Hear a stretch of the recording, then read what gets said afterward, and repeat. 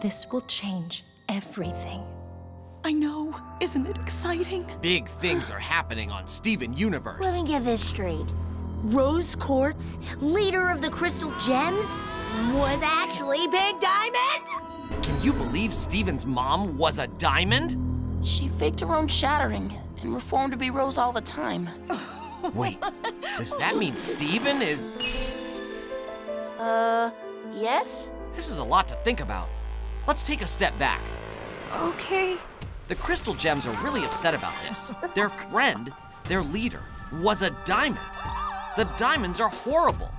Together, they make up the Great Diamond Authority that governs Homeworld and all the outlying colonies. They take over and destroy other planets to make new gems. Completing this colony would have meant the extinction of all life on Earth. But the diamonds don't care about organic life on those planets or on Earth.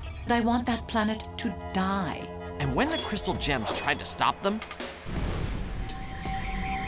the diamonds corrupted every single gem on Earth. They've become corrupted and broken. We have to take care of them. The diamonds were using the Earth for experiments. These were crystal gems, shattered into pieces. They were forced to fuse. This is wrong. When Steven first met Peridot, she warned him about the biggest experiment of all the cluster. Right now, it lies dormant, incubating in the Earth's core. But when it emerges and takes its physical form, it will destroy the planet. But they were able to stop it together.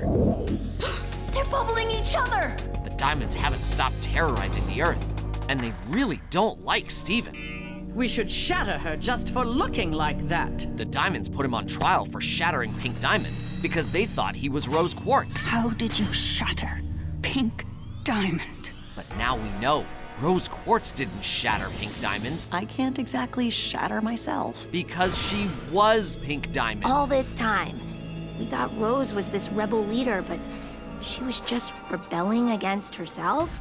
Rose Quartz lied to all the crystal gems for so long. But I never looked into her. I trusted her. How can they accept that their closest friend was their biggest enemy? What else is there to say? What will happen to the crystal gems now? Steven Universe. The story continues on Cartoon Network.